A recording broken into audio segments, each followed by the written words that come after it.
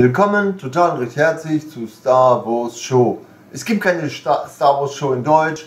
Es gibt nichts Vergleichbares in Deutsch. Und heute die zweite Sendung hier im März. Wetter super kalt. Bei einigen schneit es noch, bei einigen liegt Schnee noch. Bei uns ist alles wieder weg. Dennoch 4 Grad minus, gestern sogar 8 Grad minus und die Sonne lacht. So, heute waren einige Schauspieler da, für die musste ich einiges machen. Die brauchten wieder neue, frische Bilder etc. Da kann man halt ins Plaudern und da habe ich mir gedacht, gut, ich richte, ich richte das Wort an euch. Ja, dreimal noch. Dreimal noch. Und dann ist Star Wars anders. Erstens jetzt, heute, in vier Wochen Star Wars E8 im Streaming und dann DVD Blu-ray kaufen. Und ein paar Minuten später sozusagen in Han Solo reingehen. Ja, also Han Solo kommt eher wie die DVD. Ja, das ist schon mal ein Highlight im April. Jetzt, wo die Uhren wieder zurückgestellt werden, haben wir schon mal einen Tag länger. Also man kann schon mal im hellen Schnee schäben. So ungefähr. Ja, ich muss mal eben unterbrechen leider. Hallo. So, wie kam ich jetzt auf diesen Clip hier bei Facebook und bei YouTube? Ich kam da drauf, weil wie gesagt, heute ist ähm, Star Wars Fans nochmal da waren, die da morgen einige Sachen abholen wollen oder mitnehmen wollen. Und da waren einige Schauspieler vom Blaulichtreport, Filmpool und Komparsen und so weiter. Und da haben wir uns über gute Filme unterhalten. Und gute Filme ist immer Star Wars. Wir unterhalten uns täglich über Netflix, Amazon Prime und diverse andere Stream-Sachen. Wenn wir hier so im Internet philosophieren, sind natürlich bedingt auch, weil am 21.03. Hubert und Staller auch das letzte Mal zu sehen sein werden, weil die auch nicht mehr wollen. Haben auch ihr Alter, er sagte auch mit 61 möchte ich andere Sachen machen. Ja, so ist es nun mal. Also wie gesagt, vieles geht auch. Star Wars geht. Dreimal werden wir uns noch so richtig fett freuen. Das ist also jetzt einmal dieses Doppelpack, einmal E8 für zu Hause mit, mit vielen Features, da wo man sich dann wieder mit Freunden sich treffen kann und dann auf der großen Leinwand, also die, die Home Kino haben, 7.1 und so weiter und auch 3D noch im Besitz und können dann richtig loslegen. Einige arbeiten da so schon mit 4K und so weiter und so fort. Also so richtig sich zurücklehnen, äh, Film äh, schauen und äh, Netflix, Amazon Prime und wie gesagt, einfach alles, macht was ihr wollt mit der neuartigen Technik. Star Wars ist nun mal neu, erwacht 2015 und irgendwie ist es neu, erwacht. Rogue One kam danach, hat, war auch noch so ein richtiger schöner Kracher. Äh, E8 äh, war es zwiespältig, aber mittlerweile gewöhnt man sich dran an die Zwiespältigkeit und man sieht sich halt auch E8 zu Hause an. Ja, und jetzt kommt dann noch Han Solo dazu und dann war's. Na, also dieses Jahr ist dann wieder so ein bisschen fett am. Ne? Und es kann sein, dass zu Weihnachten einige Fans dann noch sich irgendwelche Figuren kaufen, vielleicht auch die neuen Figuren kaufen, die auch jetzt in vier Wochen äh, zu haben sein werden, die neuen Figuren von Han Solo und so weiter. Ähm, man philosophiert ja jeden Tag bei Netflix äh, beziehungsweise bei Facebook philosophiert man, bei Netflix sieht man noch Star Wars. 2020, wie gesagt, ändert sich alles. So, Anaheim kommt 2019, eine Serie, es ändert sich alles. Star Wars geht jetzt so langsam mit der Trilogie oder sagen wir mal, geht jetzt mit allen dreimal Trilogie äh, also mit den neun Folgen, also neunmal äh, Solo, Han Solo, äh, neunmal Skywalker, neunmal Lea, na, mit oder nicht mit oder angehaucht und so weiter und so fort oder in Erinnerung gebracht. Einiges kann sein, dass sie in neuen irgendwie so Erinnerungen bringen. Okay, bei geht es nicht, da kann man andere Erinnerungsgründe nehmen. Man hat auch gerade hier noch ein bisschen philosophiert, dass Lea vielleicht anhand ihres Ausfluges äh, im, ins All und sich wieder zurückgeholt, doch dadurch vielleicht. Also man hat eine Menge.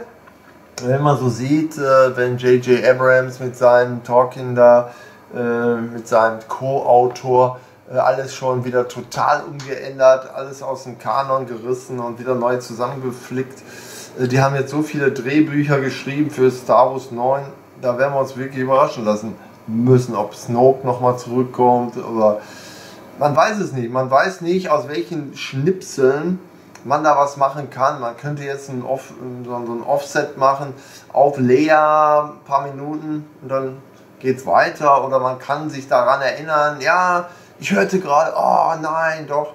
Also machbar ist ja alles in der Dramaturgie. Man kann ja alles schreiben. Überhaupt kein Thema. Aber, wir, darum geht es jetzt hier in diesem Clip dreimal noch. Dreimal noch. Ja? Und dann ist alles anders. Gut, der eine wartet auf Baba Feld, der andere wartet auf Obi-Wan Kenobi, aber es ist nicht das. Es ist zwar Star Wars, aber es ist nicht das. Ja, ich meine, Rebels war ja auch schon und hatte nichts damit zu tun, obwohl auch bei Rebels äh, Darth Vader plötzlich auftaucht oder Ahsoka. Ähm, wenn man die dann real verfilmt, warum nicht? Vielleicht, ja, keine Ahnung, wer, wer, weiß. Also in 10, 15 Jahren kann sein, einer sagen, weißt du was, wir machen trotzdem Replay. Wir gehen zurück, nehmen anderer, machen, fangen wieder von vorne an. Hallo, bei Spider-Man ist es passiert, bei diversen anderen Helden ist es auch passiert. Der Hulk hat sich auch zigmal verändert. Also äh, passieren könnte es, sollte es nicht, aber ist halt so. George Lucas hat auch sein Alter. Und wenn der noch 25 Jahre macht, ist er auch kurz vor 100. Also, ich weiß es nicht. Harrison Ford kann auch sein. Wenn der auch noch 25 Jahre macht, ist er auch kurz vor 100. Ähm, das sind und bleiben Legenden. Mark Hamill ist jetzt eine Legende in Hall of Fame. Die anderen sind ja schon früher dort abgelichtet oder durften sich dort ablichten, beziehungsweise niederlegen da in dem Asphalt. So, es freut mich natürlich auch für Mark Hamill, dass der es geschafft hat. Lea bzw. Chris Fischer da, die ist ja auch äh, da irgendwo äh, auf den Hall of Fame. Die sind ja alle auf irgendwie, sind sie ja, bleiben auch bei uns. Keiner von denen geht. Wieso ich heute so auf diesen Clip gekommen war, ist halt, dass auch wir hier in Deutschland nichts haben. Vorhin sprach einer über Perry Roden. Und dann kam so ein bisschen mit Orville und, und, und Star Trek und all solche Sachen. Dann, äh, also man hat sich über Filme, wir sind ja Filmfreunde und unterhalten uns über Filme und gehören ja berufsbedingt zum Film.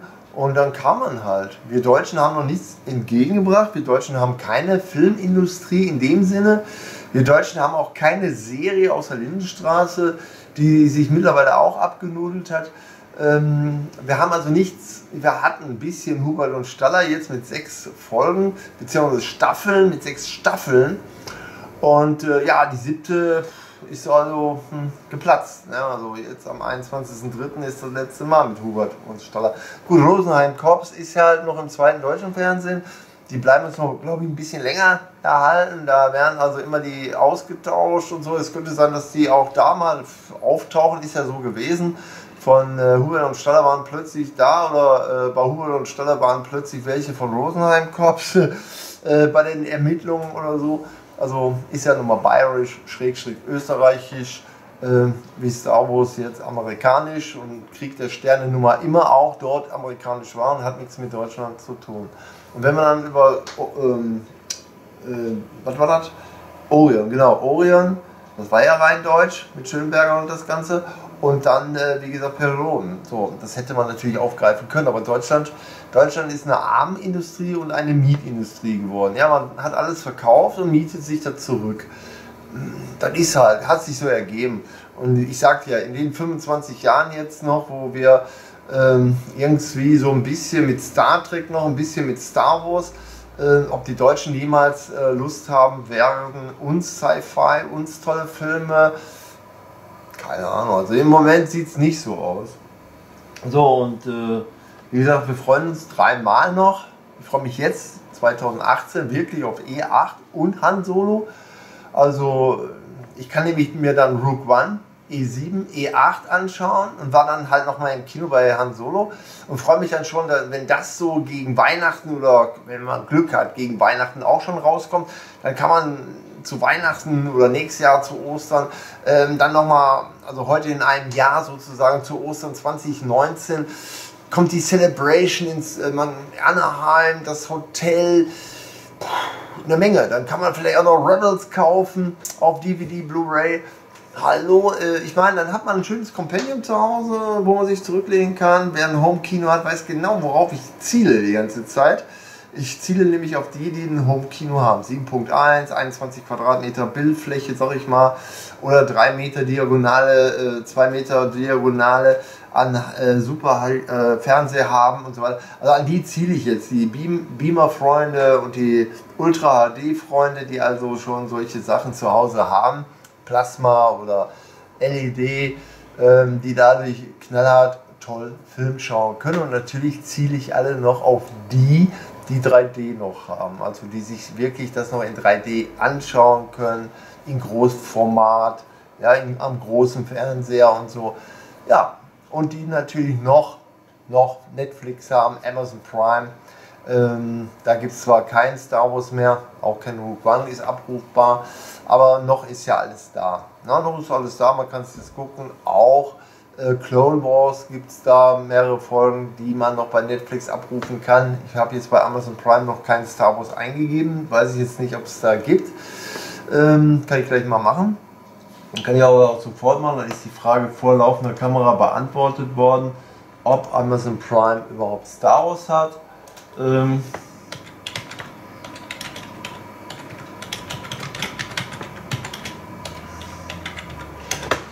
Äh, zum Kaufen, also nicht zum Starten. Na, Amazon Prime äh, Episode 4, A New Hope, kann man da, ja, die kann man sich sofort ansehen.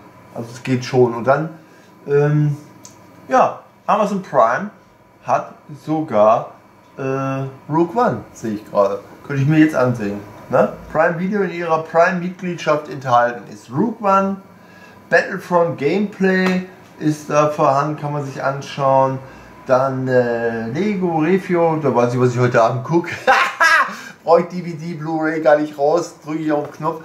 Denn ich habe mir dann so ein, äh, bin ja nun mal ein ganz großer Filmfreund und habe mir dann mehrere Sachen zusammengebaut.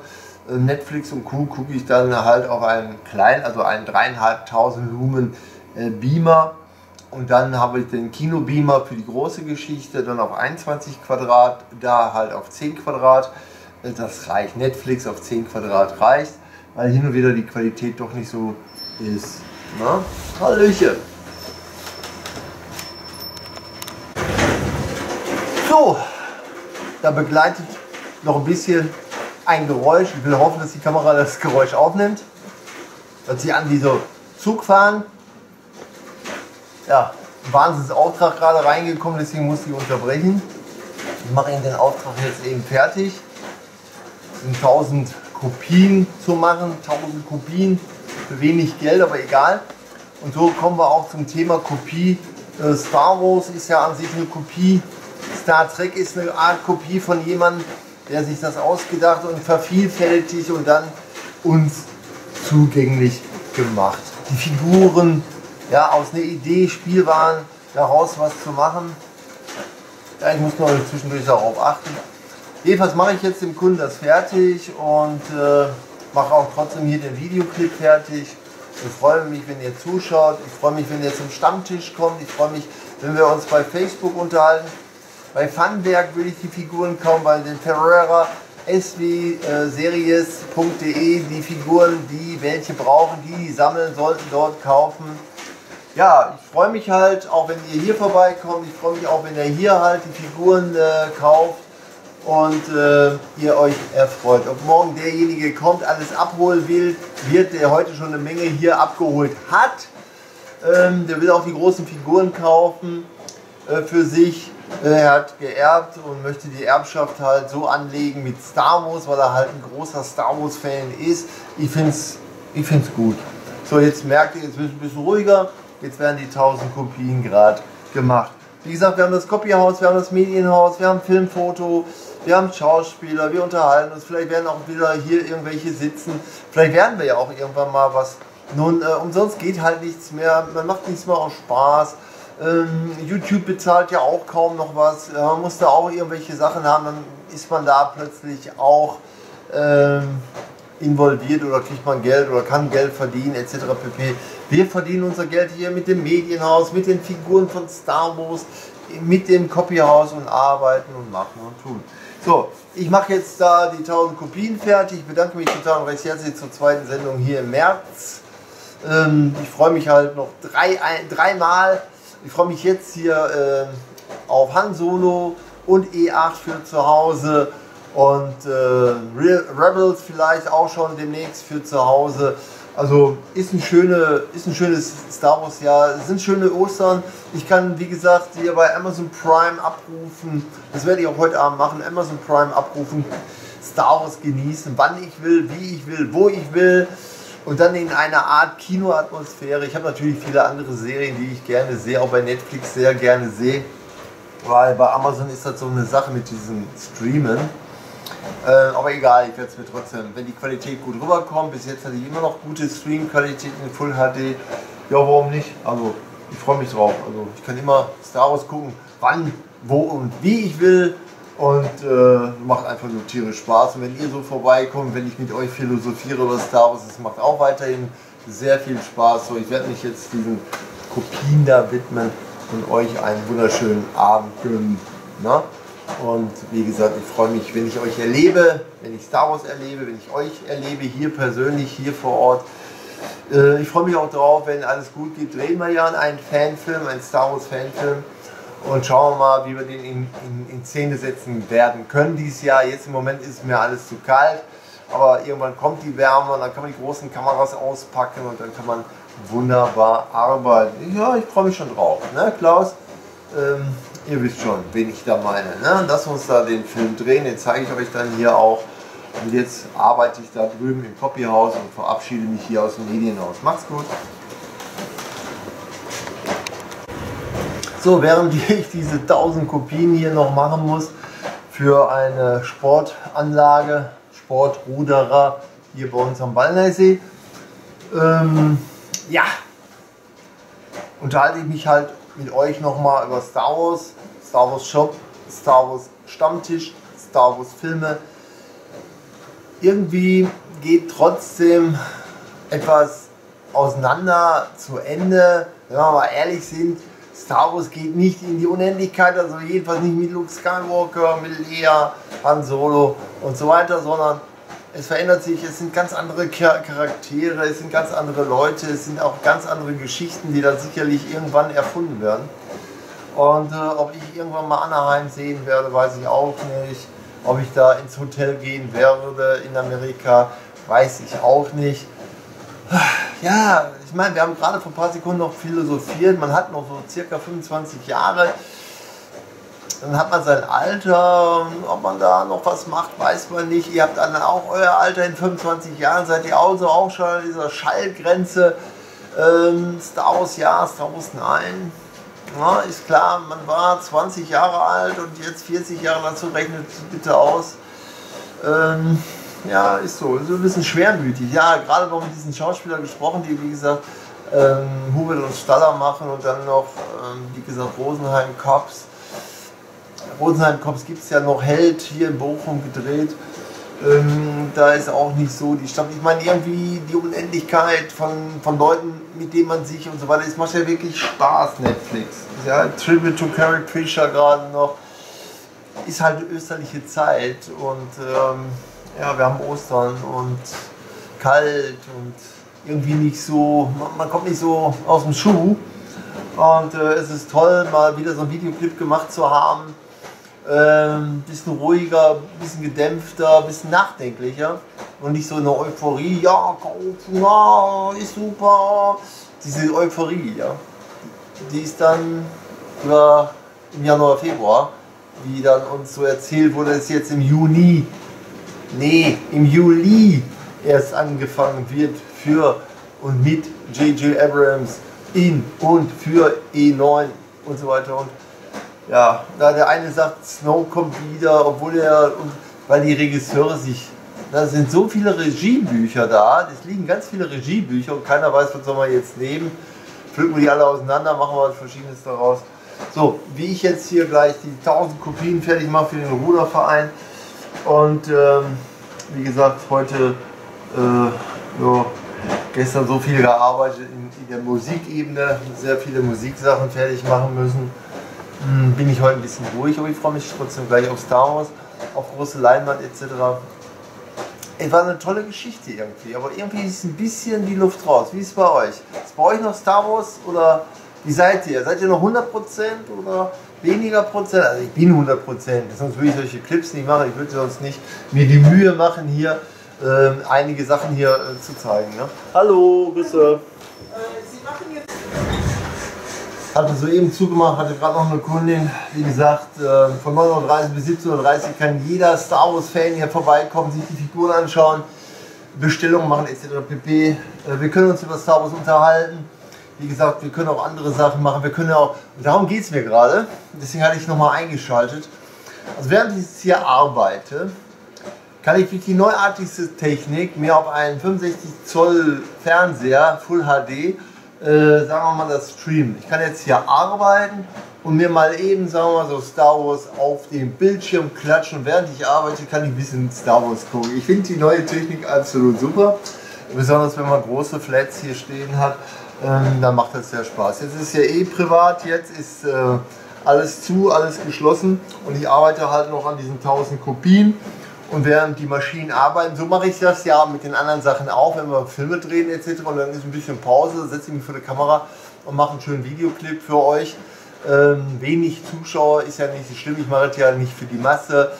Ähm, hatte ich mal vor, aber es gibt hier in Deutschland nichts, machen wir uns nichts vor. Ja? Wir haben eine Armindustrie, da tunneln wir uns alle so ein bisschen rum und versuchen der Armut zu entgehen. Andere leben in der Armut etc. Und dann haben wir die Mietindustrie, die alles verkauft hat und jetzt zurückmietet.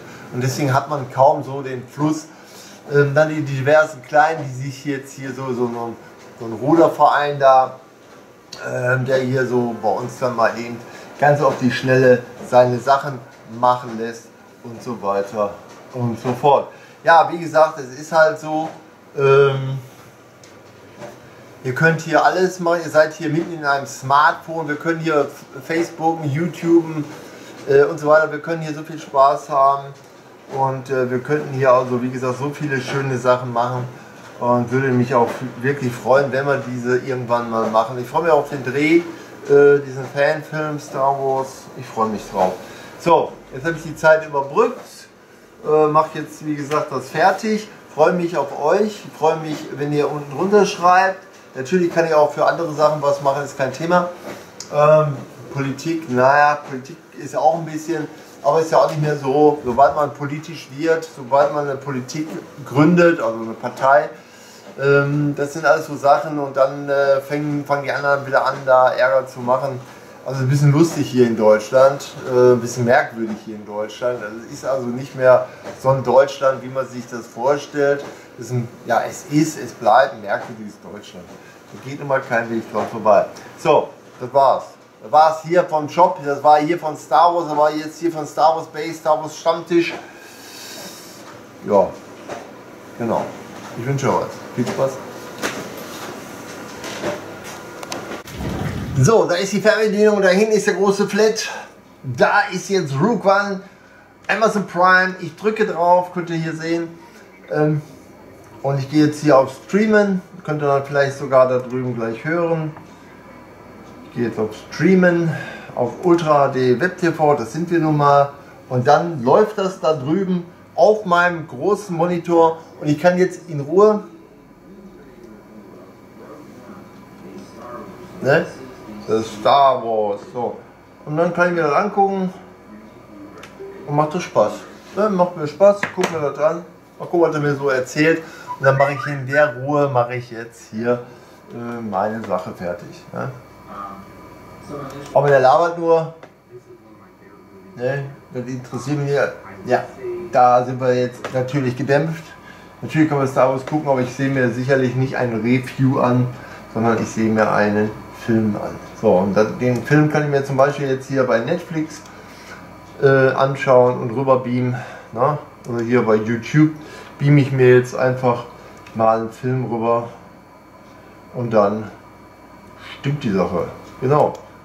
Und zwar irgendein Star Wars Film jubel ich mir jetzt darüber, während ich meine 1000 Kopien für den Kunden fertig mache. Äh, ist gar nicht mal so schlecht, mir macht Spaß. Ja. Ultra HD Web TV. Ultra HD Web TV, das sind wir nun mal. Und wir sind auch Sondersender NRW TV. Ja, jetzt mache ich das. Hört ein bisschen Musik da hinten. Mal gucken, kann ich etwas lauter machen. Ich schaue mir jetzt hier, wie gesagt, die Staffel 4 an. Hm? Kann ich auch hier eben einblenden. Ja, das macht Spaß, versteht ihr? Star Wars gucken, arbeiten und euch unterhalten. Ja, das macht Spaß. Das macht Spaß. Den Spaß, hoffe ich, machen wir irgendwann mal zusammen.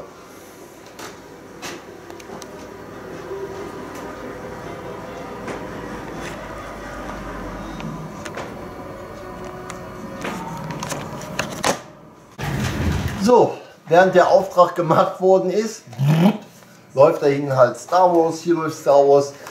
Während, also wir sind halt eine Star Wars Burg, Ultra HD Web TV, Sondersender NRW TV. Wir arbeiten nicht nur in Star Wars, mit Star Wars und erleben Star Wars. Wir haben ja wie gesagt rund um Star Wars Geschichten.